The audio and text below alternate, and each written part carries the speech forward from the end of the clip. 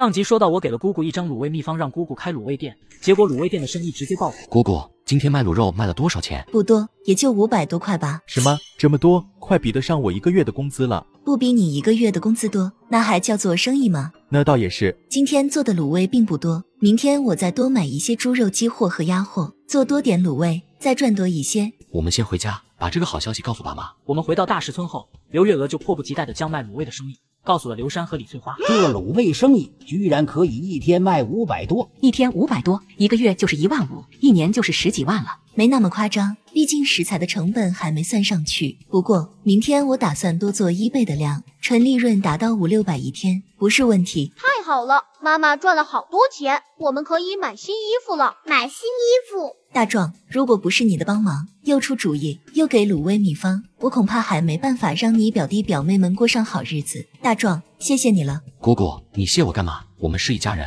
互帮互助是应该的。大壮说的没错，月娥妹子，你这太见外了。妹妹，以后这种话不要再说了。解决了姑姑的工作问题后，我就径直回了别墅婚房。大壮，你能不能给我找点事情做？我也想帮你赚钱。你现在的任务是读书，参加成人高考。成人高考在十月份，现在已经是七月份，还有三个多月就要考试。你要成为家里第一个大学生。大壮，我现在每天都在看书，而且课本上的知识我以前都学过，现在也复习的差不多了。都复习完了？早就复习完了。你真的想找份工作？嗯，我不想只靠着你养，我也想替你分担压力，所以最好能给我安排可以学到知识的工作。让落雪整天待在家里不是办法，时间长了。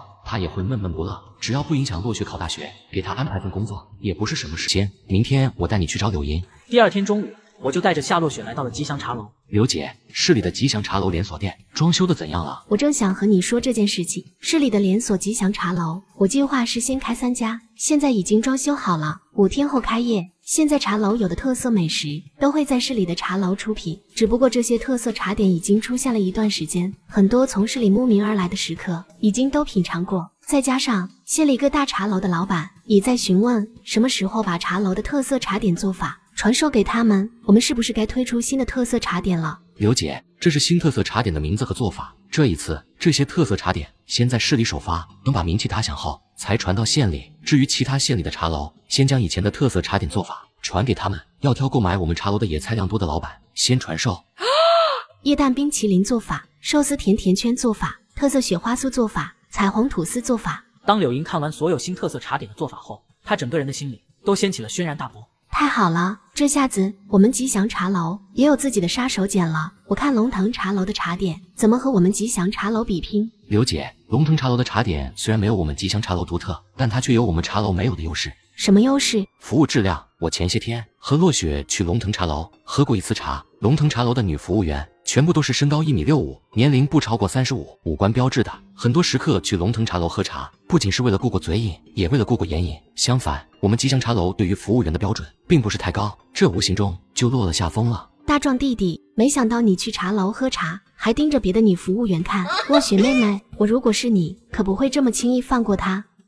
我完全是为了摸清龙腾茶楼的底细，才对龙腾茶楼的各种细节多做留意，可没有别的意思啊。那好吧，你说的问题我会认真考虑。刘姐，还有一件事情，我可能要麻烦你。什么事情？我想给落雪在茶楼里安排一份工作，最好让她接触一下管理层面的事情，或教她，或让她自己先试着管理都行。这丫头现在在家里闲不下来了。原来是这件小事，没问题，我给她安排个总经理助理的职务怎样？以后就跟着我，辅助我茶楼的所有事宜。这样，他既能学到东西，我也能帮你看着他点，免得你媳妇长这么漂亮被人欺负了。这就太好了，刘姐，多谢。不用谢我，只要你不给我乱介绍对象，我就谢谢你了。对了，还有一件事情是关于江家的。上次江文官复原职后，江家上下就一直想要宴请你，表示感谢。只不过因为你要筹办婚礼，他们不便打扰，所以江家主就托了我转达这一事。江家主要宴请我。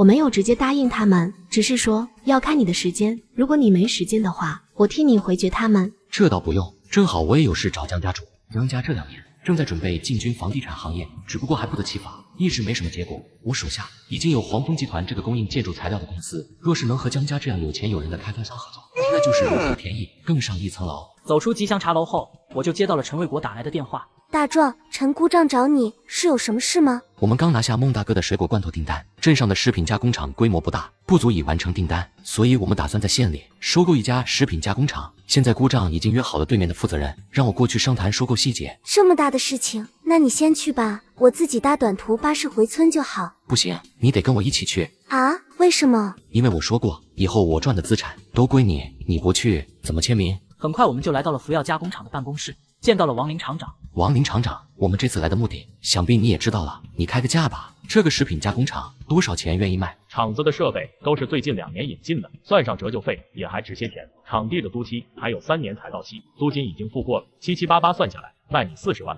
四十万，这个价格会不会太高了？不要食品加工厂的场地规模、设备规模是整个凤凰县最大的，这个价格并不算高。以福耀食品加工厂的设备还有工人实力，等转让到刘老板的手里后，必定能接到许多以前工厂老客的订单。刘老板，你说是吧？王老板说的对，福耀食品加工厂确实有许多先天优势，但我们之所以愿意来收购，本就是冲着这些先天优势来的。如果没有这些先天优势，那我们何必出价收购？等您的厂子破产清算的时候，我们再出手收购，那这些设备可就是废品的价格了。王林闻言，脸色微沉。虽然我说的话难听，但却是事实。不管是谁收购福耀食品加工厂，都是为了设备新、工人技术成熟、场地规模大的优势来的。若是重新组建一个新食品加工厂，所需要的花费远比收购老厂子要少许多。刘老板，你的意向价是多少？三十万吧。不行，这太少了。王老板，我应该不是第一个和你开价的人了，你的价格应该也没有人会点头答应。王林沉默了。我确实不是第一个来找他谈收购工厂的人。前几个老板一听到他开的四十万价格，二话不说转身就走了。只有我还愿意和他讨价还价。三十五万，这个价你若是愿意接受，我们马上可以签股份转让协议。成交。我是不是开价低了？接着我们就签订了股份转让合同。王老板，接下来有什么打算吗？还能有什么打算？食品加工厂这一行业，我是没办法再干了，休息一段时间，再找点活干吧。既然王老板还没有创业的打算，不知道你愿不愿意继续替我管理这个厂子？你要请我当厂长？这个厂子的里里外外你最熟悉，你来管理再好不过。你不担心我的信誉问题？我们都知道，王老板的厂子之所以到今天这一地步，完全是被家里的亲戚坑了。您的信誉一直是优秀的。听到我这话，王林有一种知己难求的感觉，一时间他竟然说不出话来。王老板，怎么样？你愿意当这个厂子的厂长吗？工资正常发，另外给你五个点的股份。我愿意。和王林签订了聘用合同后，我就和王林说了一下水果罐头订单的事情。明天我会让人运送一批水果到厂里来，你带着工人们抓紧时间生产。放心吧，老板，我会督促下面的工人的。见王林明白我的意思后，我又嘱咐了一些细节，然后就带着陈卫国和夏洛雪回镇上。